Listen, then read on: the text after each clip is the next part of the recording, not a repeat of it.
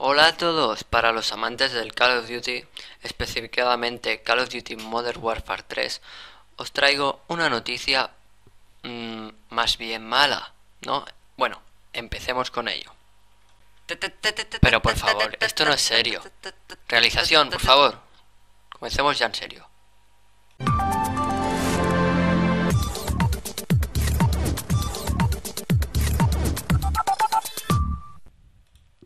Modern Warfare 3 podría estar sufriendo serios problemas con las estadísticas en sus servidores, reseteos de estadísticas y reducción de niveles.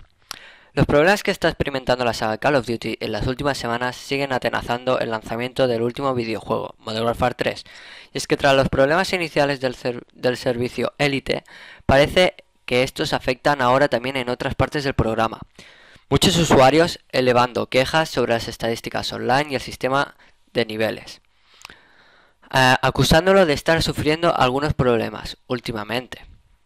Según parece, algunos aficionados aseguran que se pierden niveles de experiencia, se resetean estadísticas y sufren algún que otro tipo de inexplicables reducciones en sus datos.